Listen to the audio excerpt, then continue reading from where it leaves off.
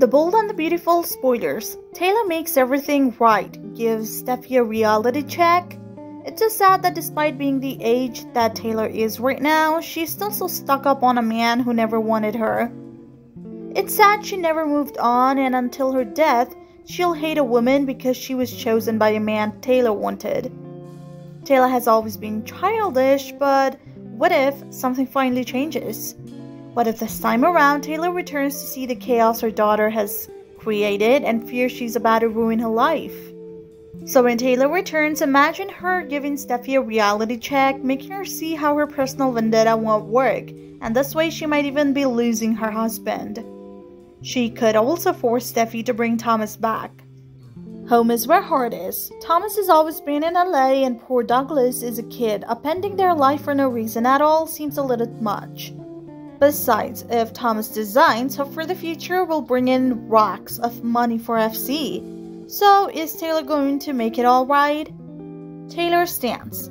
Imagine Taylor returning only to witness the chaos Steffy has been brewing. It's a mess, and Taylor can't just sit back and watch her daughter ruin her own life. I mean, as a psychiatrist, Taylor should have known how to control her own emotions and keep herself first. Now, because of the resentment she holds for another woman, her own daughter will never be happy. So, what's she gonna do about it? Picture Taylor giving Steffy the mother of all reality checks. She sits Steffy down and lays it all out. The personal vendetta Steffy's been nursing is a losing battle. Not only is it not going to work, but it might also cost her her husband.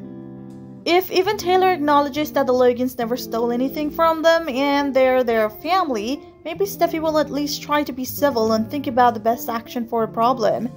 For example, Steffy sent Thomas away to Tonto. If he returns, Hope for the Future will be a smashing success again, and money's always good for a business, right?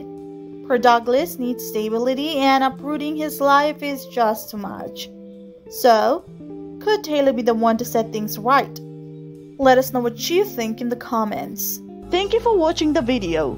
If you enjoyed the video, make sure to check some of our other videos.